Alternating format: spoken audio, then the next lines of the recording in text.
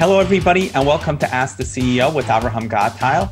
Today's episode is very unique. In fact, if this is the first time tuning in to Ask the CEO, I would suggest you go back and check out some of the other episodes, as this one is very different from the rest. It features a presentation I recently gave in India for their Deep Tech Summit, and it's titled Deep Tech for All. We cover some of the latest trends and topics such as digital disruption, artificial intelligence, IoT, 5G, and cybersecurity. Let's jump in and hear what it's all about. So I'll cordially invite the person who has come travel uh, from USA to uh, attend this session. He's uh, with us. Apologies if I spell your, uh, you know, pronounce your name wrong. So it's Avrohom Gottheil, right? I did it. Thank you. Come on. Hello, everybody. Thank you for joining this session. I know it's been a very long day, so I'm truly grateful for you staying. Uh, thank you to Amit Dev and Babalal Jain for inviting me here. And thank you to all our previous presenters for informative presentations. So I'd like to open up with a quote from uh, Mahatma Gandhi, the father of this great nation. And he says, Open the windows of your mind to allow the winds of ideas to flow inside. And this essentially means that one must keep an open mind in order to be able to accept the great opportunities that are presented to oneself, which is very fitting for the creativity that's required for innovating in the field of deep tech. And it has a personal connotation as well as it pertains to my journey from my previous career to where I am today. So the question is, why is information sharing so important to me? And before we continue, uh, how many people in this room are in the field of deep tech?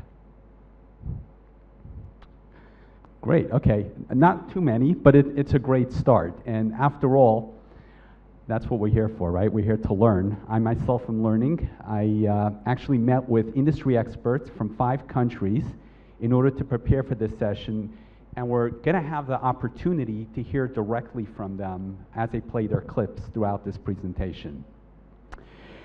So, why is information sharing so important to me? Well, let me relate to you my personal journey, and uh, we'll discuss it as part of this presentation.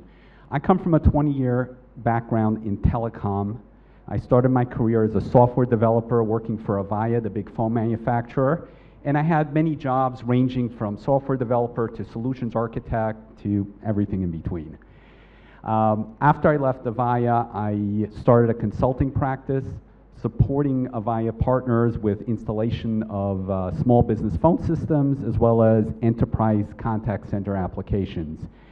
And that worked well for a number of years until about 2015 when disruption hit. Now, everyone in this room, whether you work in deep tech or not, is familiar with that term, that dreaded term disruption. So it was around that time cloud was becoming prevalent.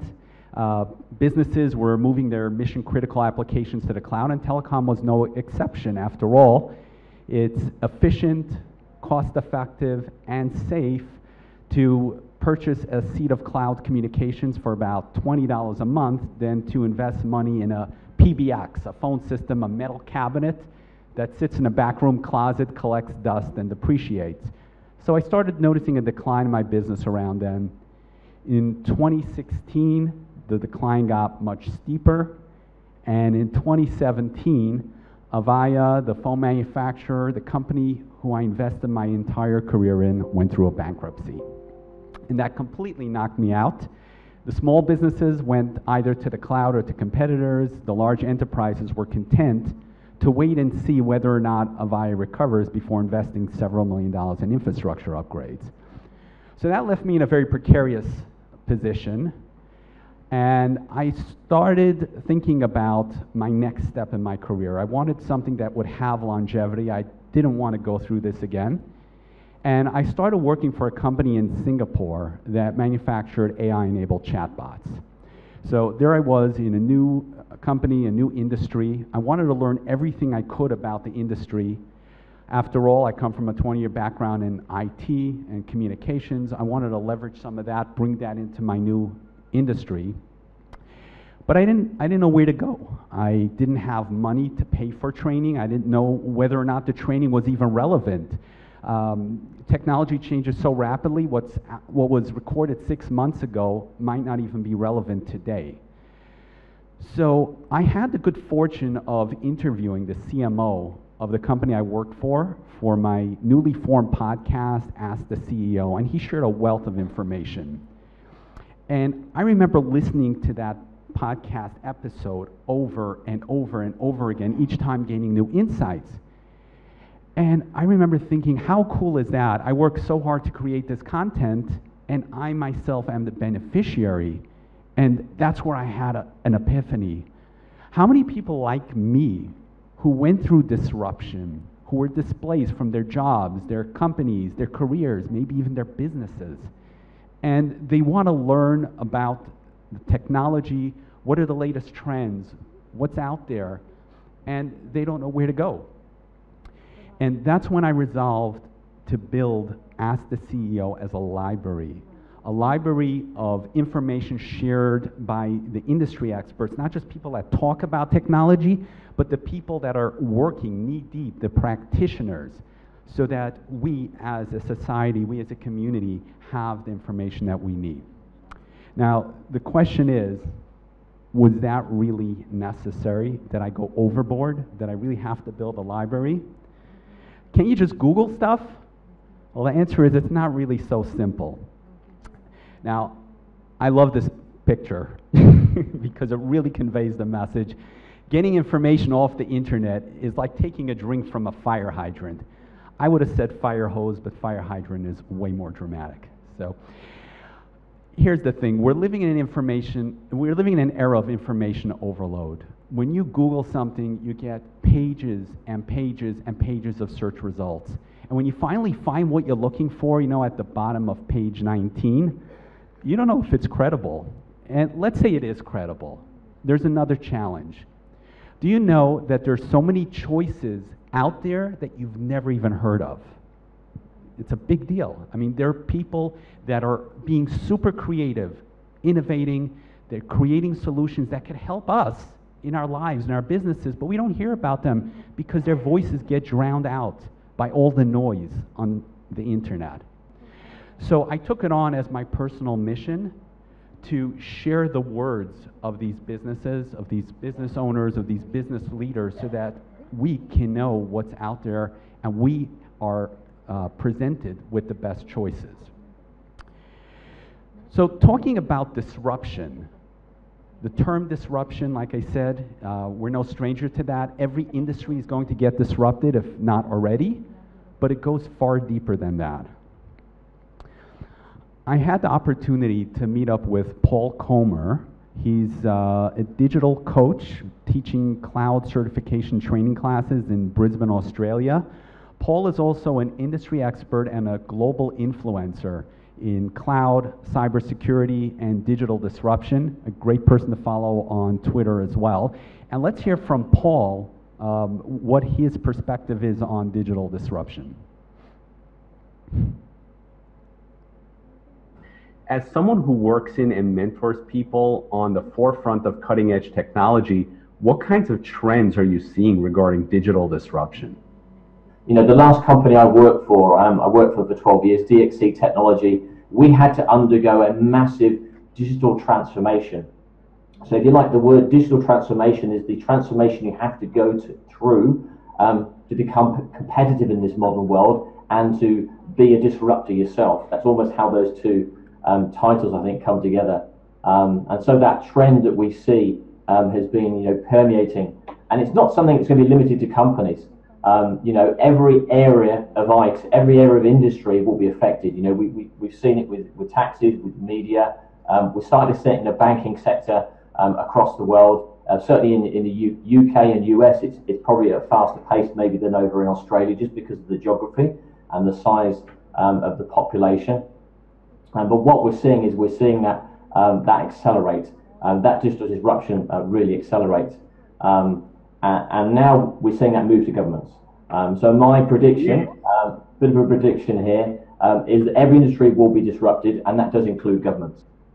So that's a big deal right there. Every industry will be disrupted, including governments, which means that we must be super creative and keep innovating in order for us to have a secure future. Which brings me to why it's so important to share information. In the rush to create products, many people like to copy what other people have done. Um, you know, there's been an explosion of entrepreneurship. Many people are under pressure. And we like to copy things because, after all, it makes sense. You know, if something works, why not jump on the bandwagon? The challenge with that is that you don't know if the product that you're copying will be successful in the long run or if it'll turn out to be like the next fidget spinner and fizzle out after a while. We need tech support here. there we go. Simon Sinek is very fond of saying you can copy what people do, but you can't copy why they do it. Um, this is why I strive to speak with industry experts like Paul Colmer and those and many others that we're going to hear about, because we need to understand not just what the trends are, but why is this trending? Why are these trends happening? For example, Alexa is becoming increasingly popular, and because of that, we're speech enabling everything under the sun. Um, is that really necessary? Um, are we going too far? Why expend resources on something that might turn out to be a passing fad? So imagine the following you're a single mom, you're trying to get your kids to school on time, but you're also the CEO of a high tech IoT firm, and you're scheduled to deliver a presentation to the board of directors in one hour, and your house looks like that. I panic too. Your 10 year old can't find his shoes. Your seven year old can't find her socks. The school bus is coming in five minutes, and you got to get out of here. As you're frantically rushing through the house, packing lunches, gathering belongings, you suddenly yell out, Alexa, make me a coffee. Black, no sugar. It's going to be an intense day. That transaction had nothing to do with coffee. It had to do with the sale of time. People nowadays are busier than ever before. You don't have a minute to wipe your nose, let alone eat breakfast. All you want is a cup of coffee to get you through your morning. By speech enabling that coffee maker, you just sold that poor woman back some of the valuable time in her day, giving her just a semblance of control of her busy life and giving her just a little bit of peace of mind. So time is the new currency, and that's what's driving the mass adoption of voice-based technology in the marketplace. So this is why it's so important to study the technology and study the reasons behind it, and this is why I do what I, what I, what I do. And this is why I enjoy doing it. So we, you know, we were talking about AI today. We had many presentations about AI, and AI is going to be a part of our lives whether we like it or not, and it's going to be part of every industry, and healthcare is no exception. I had the opportunity to speak with two industry leaders on AI in healthcare, um, and we're going to hear from them in just a moment. The first one is Dianne Dotson, and both of these, um, both of these uh, industry leaders are in the United States. Dianne is in Los Angeles. Um, she's a great science fiction writer. If you're into science fiction, she just published a book, which is a great book. You should buy it. I read it. Um, and most important of all, she's also a research scientist. And Dianne shares a very interesting perspective on the future of AI in healthcare. After that, we're going to hear from Jennifer Esposito, who's the former head of health and life sciences for Intel, and she also shares a very interesting perspective. So we're going to hear from Dianne now. One science fiction movie that really stood out for me when I'm thinking in terms of particularly health research is AI and machine learning and things like that is Gattaca. Look at the title Gattaca and the spelling of it, and you see that the letters G, A, T, and C are in the word Gattaca, and those are the base pair names, the, the letters in DNA. When we talk about the future of AI in healthcare, what I'm really seeing involves genomics. We're looking at databases like 23andMe, for example. And there, there's so much information there for millions of people. You have their genomes. So you need artificial intelligence to zero in on genes that lead to disease, with all the computational power you have and all the millions of people you have that are part of these databases, uh, you can find sequences of genes that you know lead to disease-causing proteins, and we can try to figure out from there how to tailor drug therapies, you know, like fix that broken protein. So there you go, right there, going right to the source. Um, let's have the next slide. Um, no, back up, back up one. It's not showing up.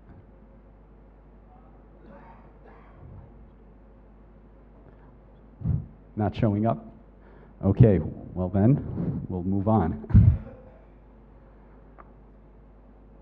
okay, so here's an important question Will people accept AI? Uh, we're AI enabling everything under the sun, and we're also forcing AI upon people. So let's say, for example, you call customer support and you have to punch in a million numbers just to get to a queue and wait there for an hour to speak to a human being. Soon, we're going to have to do the same thing, and we're not even going to have the privilege of speaking to a human, we're going to be speaking to AI. So the question is are we going too far? Will people accept AI? Jola Burnett is a vice president at GfK Consumer Life in New York City. And Jola studies the consumer, uh, the consumer behavior that drives the latest trends in the industry. Also, a great resource to follow on Twitter. And let's hear from Jola her perspective about this question we have to ask ourselves a few questions.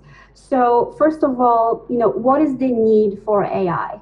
Uh, what is the specific use case? You know, um, it goes down to the value proposition. You know, what's in it for me? How badly do I need it? Does it make my life easier? Or, you know, does it make the process, you know, more effortless than me doing this myself? Because if not, it just can be downright annoying and no, you will not accept that interaction or you know thinking about um, the interface. Uh, does it feel gimmicky? Um, what is the accuracy of speech recognition or is there latent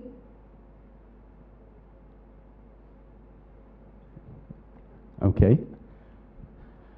So basically what Jola goes on to say after that is that we need to also ask ourselves does the consumer have an out? Can they can they choose to exit this interaction with AI or are they locked in? So it's really all about putting the consumer first. And that's essentially what's going to drive the success of our businesses in the future. So let's advance to the next slide. We heard a presentation previously about 5G technology, so I'd be remiss if I didn't say, uh, if I left 5G out. And 5G is going to be a big part of our lives because it's seen as an enabler, everything from smart cities to healthcare. I spoke with Inma Rodriguez. She's the VP of 5G Core, Cloud, and OSS for Ericsson's European uh, and Latin American mid-market area. And uh, Inma shares a, her perspective on the considerations that business executives need to have before investing in 5G. What are some of the considerations business executives need to think about before making an investment in 5G technology? Over the last years, we've seen the evolution of the different mobile technologies uh, and the generations, right? We started with 2G, and making a phone call was like, wow, we can now make a phone call from the mobile, and then an SMS. Then we started browsing in, in, in internet, and it was like the big thing in, in 3G. And with 4G, we got to, to be streaming videos, and now you can, you know, you can see your favorite uh, Netflix movie on, on the train together with the rest of the people commuting. And that's what we expect from, from uh, technology evolution, right? So now when we go into 5G, I think we have to understand that this is not just another generation. This really goes beyond, beyond mobile broadband. It's exponential. exactly. It will bring a lot of enterprises as an enabler for their digitalization process. So 5G is going to be more than just another G. It's going to be exponential, an enabler for enterprises for their digitalization process. Think about healthcare, for example. Imagine you have somebody that's waiting for an ambulance, there are no medical personnel available. With 5G, a dispatcher We'll be able to see what's going on, possibly even via VR. Put on a headset, now you see what's going on and deliver advice or emergency medical care through drones or robots while we're waiting for an ambulance to get here. Or a construction worker in Manila operating a bulldozer in Los Angeles. The possibilities are endless. Now, the scalability of 5G will enable us to deploy IoT devices at a massive scale, much more than ever before. So we also have to take a look at the implications with regards to cybersecurity. So if we look at the projections going from 2016 all the way up through a projected number of deployments in 2020, we can see a slight increase year over year, going from 6.3 billion all the way up to 20.4 billion projected next year. And these numbers keep changing all the time, but essentially, it's a nice steady progression, and that is going to go up sharply in the coming years thanks to 5G. Now, we also have to take a look at another statistic, and that is the dreaded data breach, right? Not a day goes by where we don't hear about that. So what are the implications of adding more devices on our network? Unlike IoT deployments, the number of records breached year over year increases exponentially. From 2016 to 2017, we jumped from 36 million to 197 million, all the way up to 4 billion this year, and it, this year isn't even over yet. So we need, really need to think about um, what's happening and how to keep our network secure. Um, to put it this way, the threat actors need to get in through one door. We need to guard hundreds of thousands of doors in our enterprises and our factories. So this is a very serious consideration. And how do we fight this cybersecurity war? We're not going backwards. We're not going to stop deploying technology, but how do we fight this war? So we do it with the three S's. We follow the three S's. We need to share information, secure our networks, and serve our communities. And we're going to go through what these mean. The threat actors have no problem sharing information. Whenever they do a hack, all that information is shared on the dark web. In fact, they brag about it. So they collaborate, they share information, and we must do the same thing. We need to share best practices. In fact, one of the industry experts who we're going to hear from in just a little bit, his name is Scott Schober, he was hacked, he's a cybersecurity expert. He has a cybersecurity company. He, had, he was hacked twice, and he wrote a book about it called Hacked Again. Some great reading. So the point is, if something bad happens, share it. If you do something right, share it. Let people know because collectively we're stronger.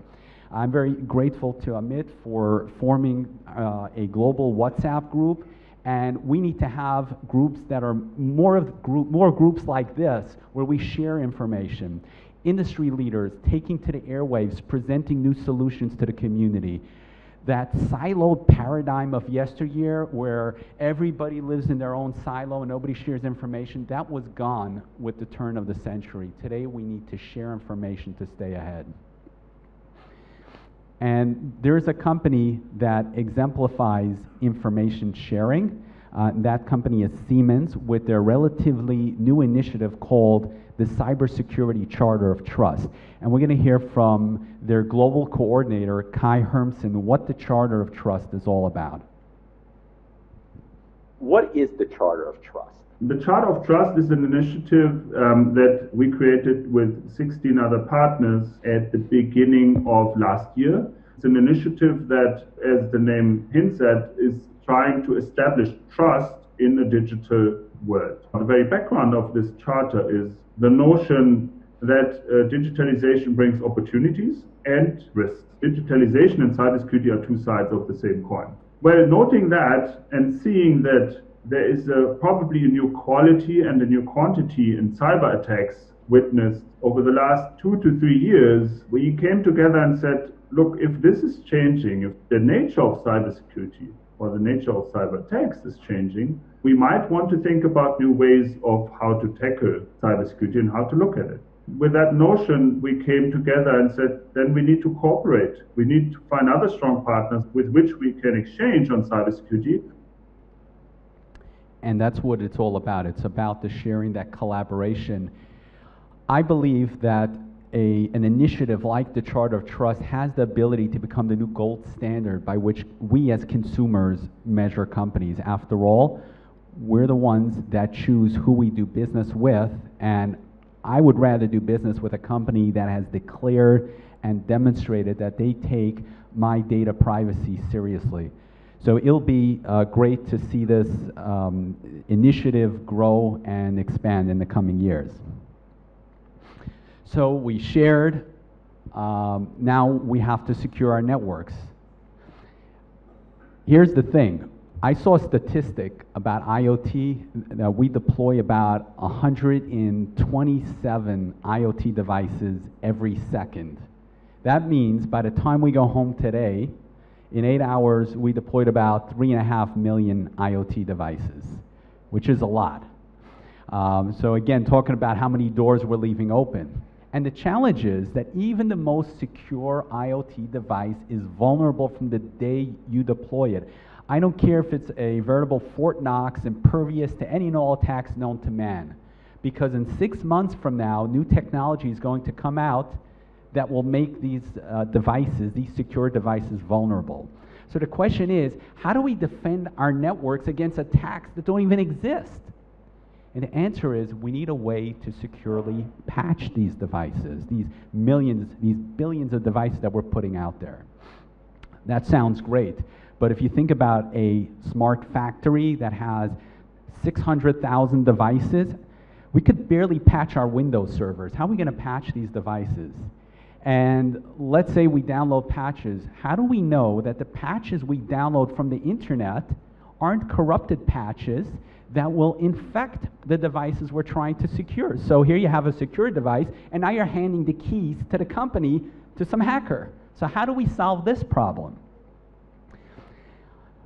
This is why I met with Mirko Ross, who is the CEO of Asvin.io, spelled A-S-V-I-N, in Stuttgart, Germany. Mirko is an expert when it comes to IoT security, and he shares two interesting uh, video clips on the challenges associated with patching IoT devices. What is the challenge with patching IoT devices? Can't anybody just do that at home or in the factory? Can't you just connect via Wi Fi and update it? What's the big deal with that? A lot of IoT devices are at the edge. So, what does it mean? They have no direct IP connection. So, they're connected by other radio protocols like Bluetooth or LoRa. So, you can't patch them directly. So, what you need is the gateway in behind uh, so you send a patch to the gateway, and then the gateway is distributing the updates to the certain devices via LoRa, which is from a technical level completely different to a IP-based patch management. This is, I mean, this is a te technological challenge. The second challenge is often the scale. There could be hundreds, thousands of them in a factory. A hundred, a hundred thousands. That's that's right. For that, you need an auto automation process because you can't do patching that manually Mirko, I know many organizations have smart people there, and they might want to manage everything internally, including updating the software and patching it. What are some of the risks associated with allowing people to just patch their IoT devices? This is really a complex issue if you want to make it really safe and secure during the whole process in future we are stepping into a world where there will be more and more the question of what kind of software was installed on a certain component. For example, if an autonomous car will crash, there is immediately a question of what kind of software was installed at this car at a certain time of the crash. Just to find out for liability, was it a technical failure of the vendor of the car or what else? We need to know what was the state of the software. And for that, we need completely new mechanisms to update and patch. This is getting really critical, and by that it's yeah. rather clear that you can't manually patch anymore. So this is why I share this kind of information so that we can learn about these companies and the technology they bring. Which brings us to the final S, serving the community. So we share the information, we know what companies out there provide the solutions that we need. Now we need the manpower to operate all these, all these security protocols. Right? We're adding devices exponentially, yet we have a shortage in the most important field of deep tech, which is cybersecurity. According to Cybercrime Magazine, there's a prediction that there will be three and a half million unfilled jobs in cybersecurity in two years from now. So it looks like we're going backwards. We should be looking to fill these, these jobs. And the question is, how do you fill these jobs? Well, the simple answer is we need more people. Well, where do we get more people? So if we look at the demographics, the breakdown of the people that are in the cybersec- cybersecurity community, uh, we need more women in cybersecurity. And that will help us not only fill those gaps, but give us a more holistic perspective on the challenges because we know that the value that diversity brings is that you have different minds that think differently, and that'll help us stay ahead of the curve. Well, that's easier said than done because there's a statistic out there. The percentage of women in cybersecurity is roughly 24%, which is a very low number. How do you bring those numbers up? Or the question is really, why is that number so low, and how do you bring that up? According to Alan Paller, who's the director of research for the SANS Institute, he says that when I walk into a high school Cisco networking class, I'll find 30 boys and one girl. So, what's the message the girls get? You're not invited here. We don't want you. And it's a subliminal message that they get from early on. So, it's no wonder that they're not even choosing careers in cybersecurity because they feel not welcome. What can we do about that? How can we change those numbers? There's only one way. We need to serve our community by mentoring and inspiring our youth, inspiring our girls when they're children so that they feel comfortable choosing careers in cybersecurity.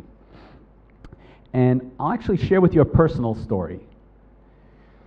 So, this is a picture of me holding up a book by Scott Schober. I mentioned his name earlier. We'll hear from him in just a moment. And this book is called Cybersecurity is Everybody's Business. Very worthwhile reading. I was recently on a trip to Israel. I took my son the, um, to Israel for the honor of his bar mitzvah. So, in the Jewish religion, that's a very big time in a young man's life. That's when he becomes an adult, according to the Jewish religion. I took him to see the sites of the biblical homeland. And because I'm very active in the cybersecurity community, I took along some light reading. I took this book along so that I could catch up on my reading. Well, one day my son comes over to me and he starts gushing insights about cybersecurity, you know, 12 year old kid. And I look at him like he fell off the moon. You know, where did you get this from? We never talk cybersecurity. You have no clue what cybersecurity is. And he goes, From your book. And I said, My book? He goes, Yeah, the one you left on the dresser. He picked it up and started reading. So my first reaction was to grab my phone and take an interview because that's what I do all the time. And we took a nice candid interview. Uh, we had a lot of fun, and of course, I posted it on Twitter. Within a short time, that video got over 1,400 views, and uh, it caught on. Now, a week or so later, maybe two weeks later, we get, a, we get a package in the mail. Scott Schober, the author of the book, sends my son a personal letter thanking him for the video, which turned out to be an awesome book review. And he sent him a gift, a nice puzzle that matches the theme of the book. And you can see by the smile on his face that he's probably going to be interested in cybersecurity. After all, the author sent him a letter. Now, who's Scott Schober? He's not some guy off the street. Scott Schober is the CEO of a cyber com- uh, cybersecurity company called Berkeley Varitronic Systems in Metuchen, New Jersey. He's also sought after uh, globally as a cybersecurity expert. He was interviewed on CBS this morning, MSNBC, and many of the network televisions, uh, television stations. Uh, he's also a global lecturer and speaker.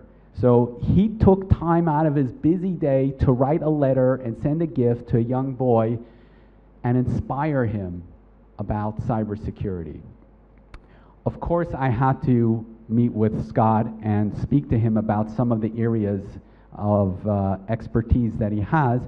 And one of the things that's very interested to us in this day and age is what are the tools that we can use to protect your digital wallet. So let's hear from Scott what that is.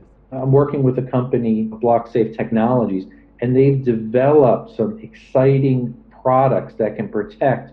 These are actually protecting the wallet to make sure that it stays in your wallet not getting stolen in, in, in a sense. Um, it's also protecting it at the ICO. So you have to look at the exchange there. Is it protecting information? And is it from one end of the spectrum to the other? Is it got protection and encryption so nobody can get in there and steal it? Think about when you're trying to enter your, your password or passkey if you're typing that in on a screen and there happens to be malware on your computer and you don't have any type of anti-keylogger uh, software in place, what could happen? Somebody can get a copy of what you physically type in there, or they can take a screenshot of it. So the software will actually detect if there's a screen capture or screenshot of you typing in your, your password, your passkey, as well as it will garble, basically encrypt and garble any keystrokes that you make. So you can see how Scott shares very practical information that we could apply to our lives. And Scott actually was traveling. He was uh, going to give a presentation that day, and he took that this session from his hotel room. So this story was very inspiring to me, but it doesn't end yet. A few weeks later, we get another book in the mail by another cybersecurity author, Tyler Cohen Wood, called "Catching the Catch the let me see if I could say that properly, Catching the Catfishers. It's a tongue twister. And she sent my son an autograph book. Uh, who's Tyler Cohen Wood? She is a, an 18 plus year veteran in the field of cyber intelligence. She worked with the US government's national security, with the Department of Defense, and many other three lettered organizations keeping the United States safe from cyber attacks. So you can say she's a heavyweight cybersecurity veteran. She's also doing what we're talking about today. She's hosting the first, uh, it's called Cyber Girl Power Conference this summer. And the website actually doesn't look so clear on the screen, but it's cybergirlpower.com if you want to check that out. But this is exactly what we're talking about. People like Scott, people like Tyler, and other industry leaders that are devoting some of their time and their influence to help inspire the next generation so that they feel comfortable choosing these careers. So this story left me very inspired and it's just a very inspiring story all around. So in conclusion, we're living in very exciting times.